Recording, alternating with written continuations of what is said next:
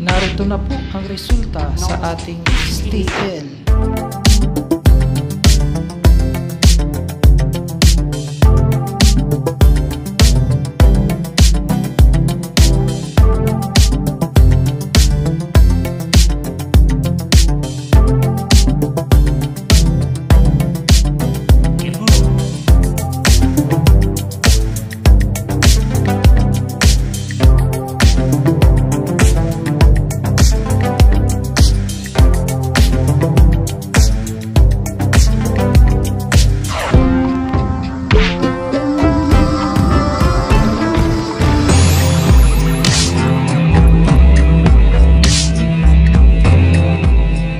STL Cavite